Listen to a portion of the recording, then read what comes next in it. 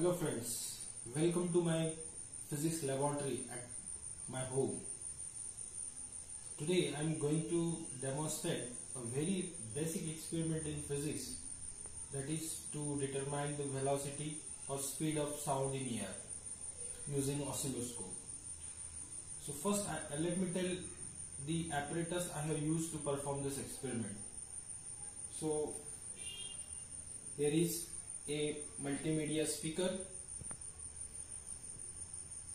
a microphone, a smartphone as a function generator, and this is oscilloscope that I have made from my laptop and its description I have given in the earlier video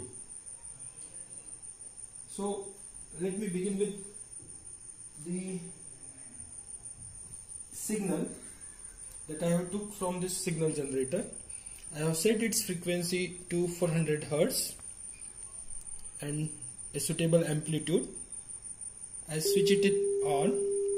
So now you can hear the sound. The 400 Hz frequency signal is given to this speaker and the same signal is appear on this CRO as channel 2 shown by the yellow signal. When this microphone will receive this signal it will show like this. You can see there is a phase difference between both the sinusoidal waves appearing on the screen and this phase difference you will see is depend on the distance between the microphone and speaker. As you move onto this microphone on the scale you will find that with the increase in the distance there is a shift in a phase of the wave received by the microphone with respect to the wave that is given to the speaker by calculating this phase difference and corresponding to the distance on the scale you can determine the value of speed of sound in air by using simple formula of the speed of the wave equal to its frequency into wavelength. The frequency is of course 400 Hertz and if you see if I put it into XY mode there will be a Lissajous pattern appear on the screen. So if I move this you can see the ellipse is changing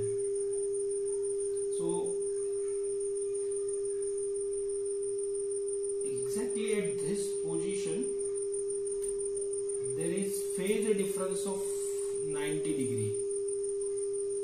So that can be seen also from this figure also. So you can see the peak of one signal. At the same position we have the zero of the other. So that means there is a phase difference of 90 degree. Now if I move it further to the backward side the phase difference is going on decreasing. So if I move it such that the phase difference will be 45 degree the net phase change for moving this much distance is equal to 45 degree which is nothing but lambda by 8 distance so from this you can measure the lambda of the signal and then you can calculate the speed of the sound in air so I have get this distance equal to 11 centimeter for change in phase of 45 degree. So then by calculation we arrived at the conclusion the speed of light is about three fifty two three fifty five metre per second